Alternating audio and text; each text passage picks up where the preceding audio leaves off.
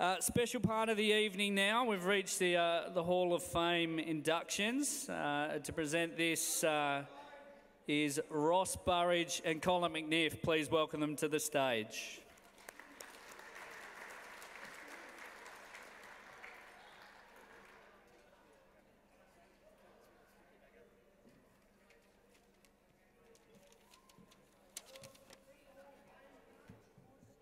Well, thanks, Matt. It's uh, just reflecting on a couple of things. It's 19 years that we started the Hall of Fame off, and I took this to the, the Tasmanian Racing Club Committee 19 years ago. It, doesn't, only seems like yesterday, and the, the whole reason was that we was to celebrate participants in the industry from, from you know, way back to the current day. And um, Kerry, just when you mentioned Billy Pettit, I knew Billy Pettit since I was this big, and uh, I'll come and see you in a minute because, um, and Billy's wife taught me at school. That's how. Uh, so it's a small world.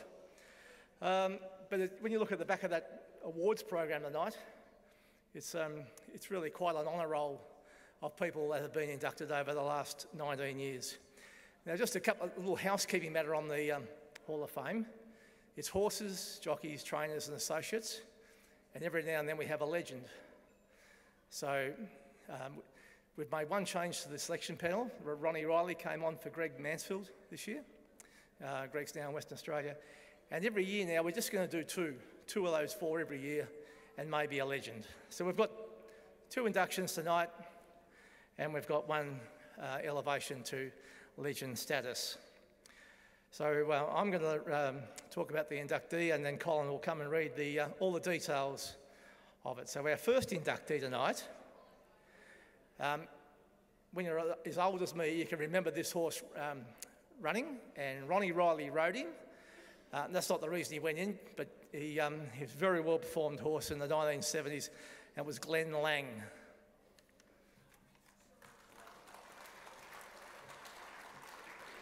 The owners and breeders of Glen Lang were Owen Scott and Gerard Highland, and they were first cousins. They formed a racing and breeding partnership and sent Blue Neon to Lanesborough. Glen Lang raced, raced in Tasmania and Victoria, Hall of Fame trainer Bill Bullen trained Glen Lang all of his career at Mowbray and Flemington, where Bill borrowed a stable from Pat Courtney.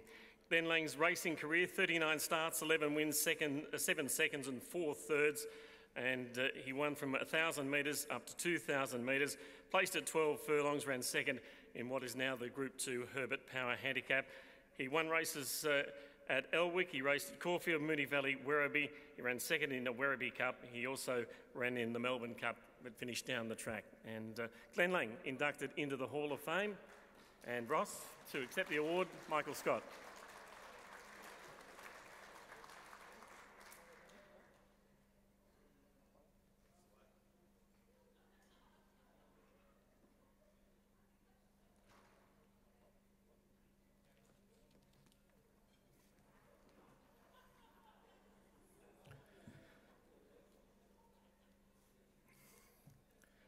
Thanks very much, Ross, and thanks very much to the Hall of Fame Selection Committee.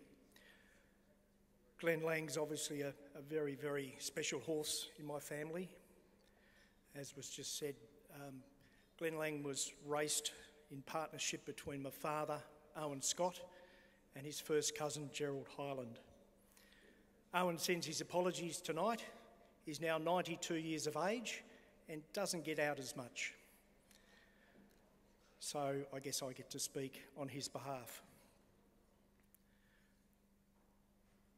Gerald Hyland was a, a racing man, and uh, on the advice of Hall of Fame trainer Bill Bullen, he purchased some yearlings in Melbourne, one of which was a filly. That filly was injured when she came back from Melbourne. Gerald didn't know quite what to do, so he spoke to his uncle, who suggested that uh, Dad, being a really good horseman, would be a good, um, I guess, custodian of the, the filly. And he obviously rehabilitated the filly and she went on to, to race. That filly was the dam of Glen Lang. Gerald and Dad decided to take her to Lanesborough, Hall of Fame inductee, as we know. Gerald had been quite successful as a, an owner in his own right. He won the 1966 Hobart Cup with Sailing Prince. Unfortunately, Gerald never saw a Glen Lang race in Melbourne. Gerald passed away on Melbourne Cup Day 1970.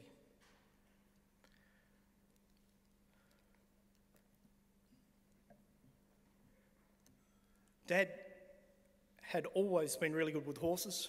He was successful in winning the local country cup in 1952 as an owner, trainer, and amateur jockey.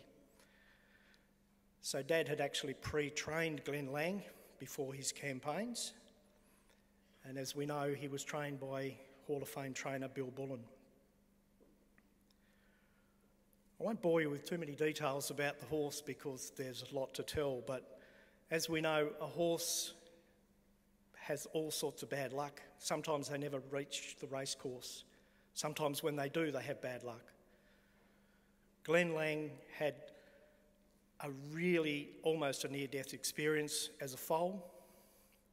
Dad, had, Dad and Gerald had taken the mare back to Lanesborough to get in foal again. In February 1967, the day before the bushfires, Dad decided to go and pick up the mare and foal. So Glen Lang missed by 24 hours the bushfire that took out the stud.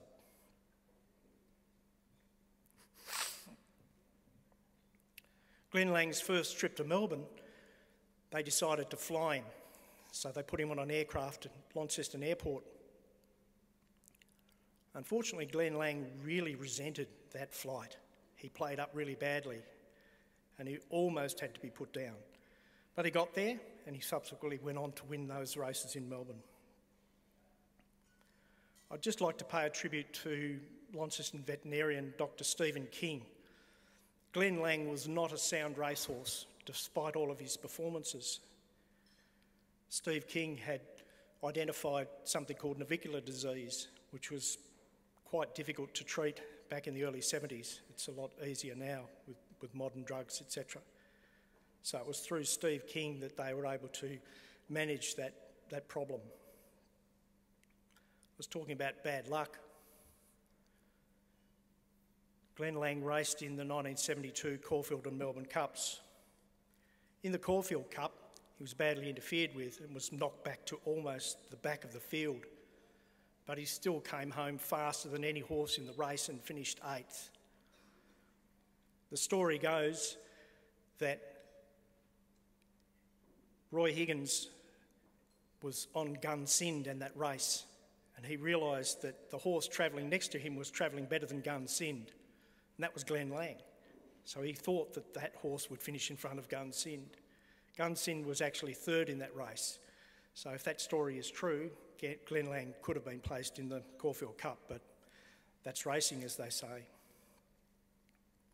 I'll just finish off by talking about racing royalty. In April 1970, Queen Elizabeth II visited Tasmania and she attended the race meeting at Mowbray. It's interesting, on that day, there were two other Lanesborough horses racing. One was Beer Street, the other one was Piping Lane. Now, as we know, later in 1970, Beer Street went on to win both the Herbert Power Handicap and the Caulfield Cup.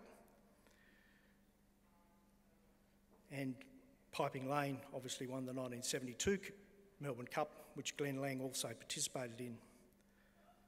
All three horses, all three of those Lanesborough colts, were all born within 10 days of each other.